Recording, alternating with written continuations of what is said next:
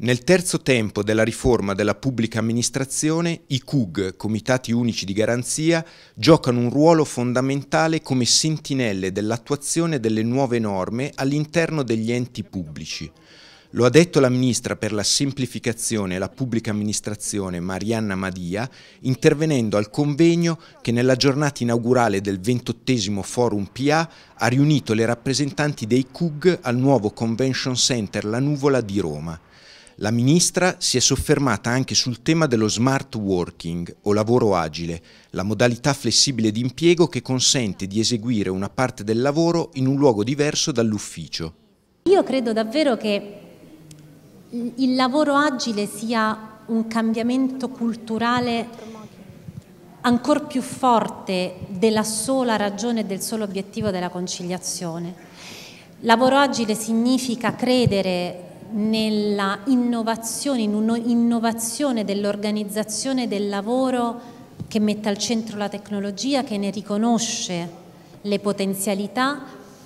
e che può cambiare l'amministrazione fidandosi del valore che c'è dentro l'amministrazione. Di qui la decisione di varare una nuova direttiva che prevede la sperimentazione di forme di smart working con il coinvolgimento su base volontaria di almeno il 10% dei dipendenti della PA. Io sono convinta che questa scommessa è una scommessa che vinciamo, e cioè che forme flessibili migliorano poi in ultima istanza il servizio al cittadino. La prima sessione dei lavori ha ospitato anche gli interventi di Antonella Ninci, presidente del Comitato Unico di Garanzia dell'INAIL e componente del Comitato di Coordinamento del Forum dei CUG, Francesca Bagni Cipriani, consigliera nazionale di parità, Monica Parrella, dirigente generale del Dipartimento per le pari opportunità della Presidenza del Consiglio dei Ministri, e Laura Calafà, ordinaria di diritto del lavoro ed esperta di diritto antidiscriminatorio e tematiche di conciliazione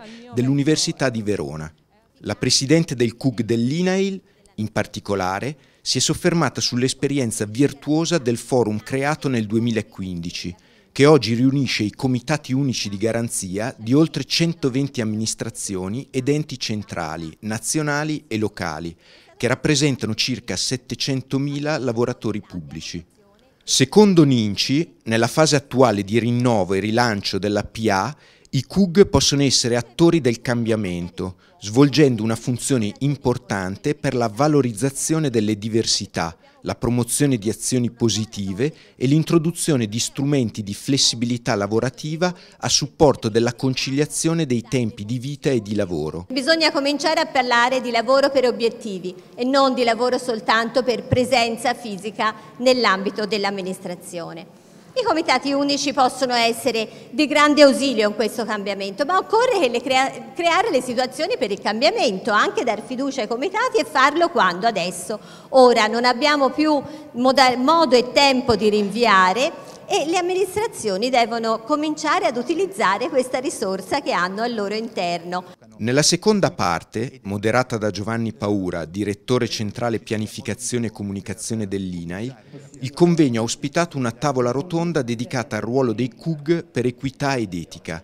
binomio indispensabile per l'innovazione e il cambiamento della PA. Prima di avviare la discussione, Paura ha ricordato il tragico bilancio dell'attentato di Manchester dello scorso 22 maggio, e tutte le vittime delle stragi mafiose di Capaci e Via D'Amelio di 25 anni fa. Attraverso i contributi di Rossella Orlandi, direttrice generale dell'Agenzia delle Entrate, Tiziano Treu, presidente del CNEL, Raffaele Squitieri, presidente emerito della Corte dei Conti, e Daniela Carlà, dirigente generale del Ministero del Lavoro e direttrice della rivista Nuova Etica Pubblica, nella tavola rotonda sono state approfondite alcune delle suggestioni emerse nella prima sessione, allargando la riflessione anche alle modalità di contrasto dei comportamenti scorretti e dei fenomeni corruttivi.